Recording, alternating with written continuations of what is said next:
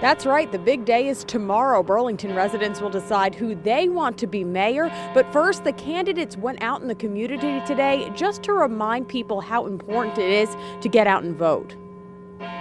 You can see it and hear it.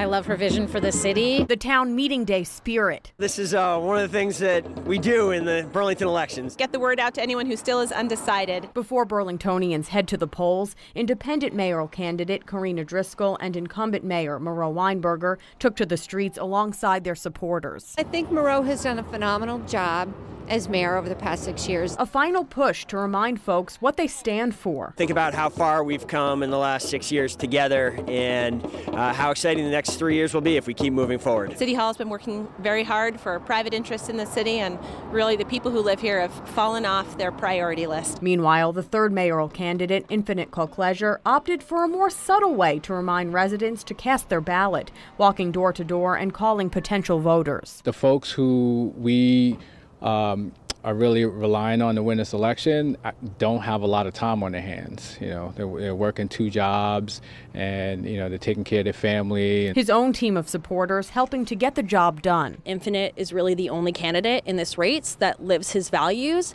and has the experience of the people who need help in Burlington. On Tuesday, voters will make a decision whether to re elect the mayor for three more years